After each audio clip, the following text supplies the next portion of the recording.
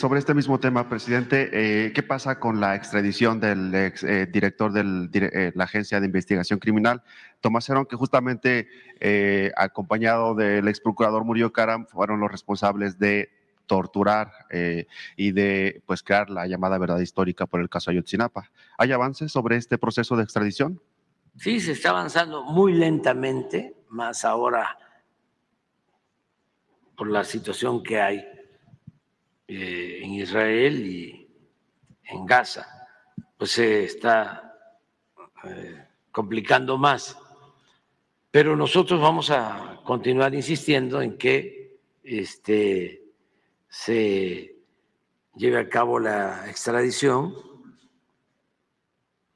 He escrito a dos eh,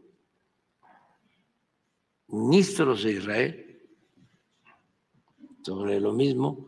Ha habido respuesta en el sentido de que van a cooperar, de que van a ayudar, pero hasta ahora no. No se ha logrado. Por eso es muy extraño todo lo de eh, Ayotzinapa, sobre todo eh, el llamado pacto de silencio, la manera en que han querido ¿no? enrarecer las cosas. Pero la verdad siempre se abre paso vamos a llegar a conocer todo. En el caso de el fiscal, del ex procurador, resulta que eh, todos, ¿no? En la fiscalía, eh, la fiscalía especial, los del GEI, los del PRO, de la defensa de derechos humanos, todos hablando, y además se demostró de que inventaron la llamada verdad histórica. Pero eh, a quien se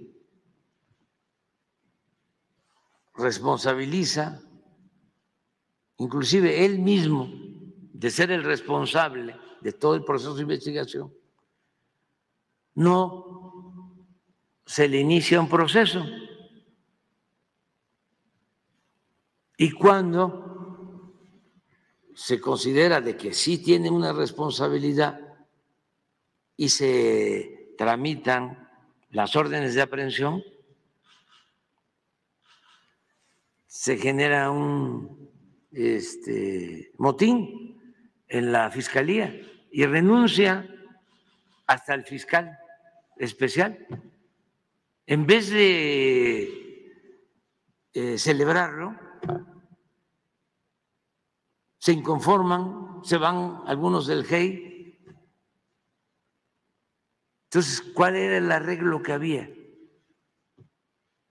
Luego, el asunto de eh, la libertad, como a 50 que detienen. Luego se habla de que fueron torturados.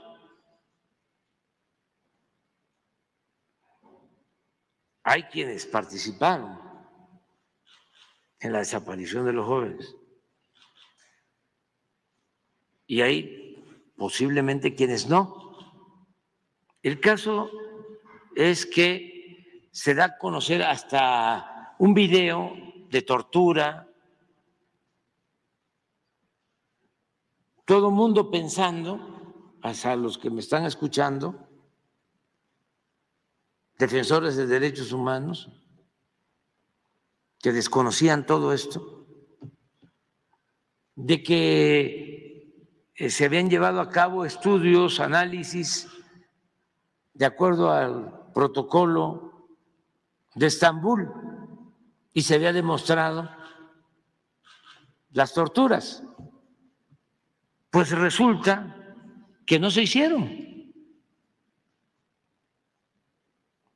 los protocolos de Estambul para demostrar que fueron torturados. Y un juez así igual, da 10 días de plazo para que presenten las pruebas sobre tortura.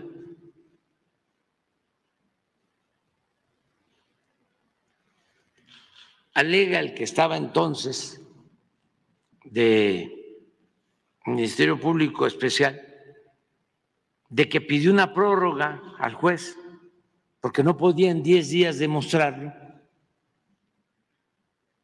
No le otorgan la prórroga, se vencen los 10 días y con ese hecho se deja en libertad a responsables y no responsables. En el caso de Yotzinapa. Pero eso se repite ya con el fiscal nuevo.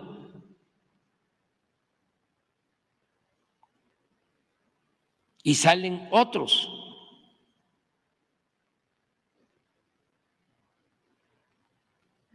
Y luego viene esto a lo que hice referencia, de que me llevan un informe y me dicen, son 20 responsables, nada más servidores públicos, militares, y ahí está eh, Murillo Caran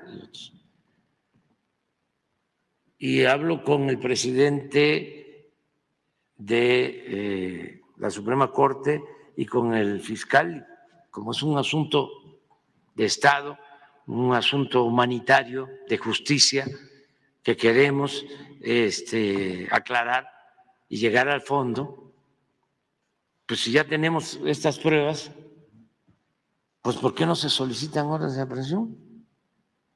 Entonces se procede a solicitar, a hacer los trámites y viene la rebelión porque los ministerios públicos de la Fiscalía, incluido el fiscal especial, no estaban de acuerdo. Todo muy extraño. Entonces ahora estamos retomando el caso. Bueno, ya hasta este juez de hace dos días hace mención a lo mismo. Entonces vamos a, a seguir atendiendo el asunto, pero sin duda es una red de componendas y de complicidades, como muchas otras. Y aquí lo importante es que no haya impunidad.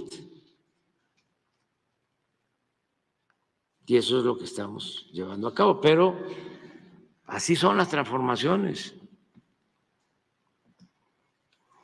Producen pues mucha inconformidad de quienes se sienten afectados, quienes eh, se sentían protegidos, tenían muchas influencias y eso ya cambió. Afortunadamente la gente pues lo está entendiendo y todos, porque ya no podíamos seguir así. Decía Tolstoy, que un gobierno que no procura la justicia no es más que una banda de malhechores. León Tolstoy.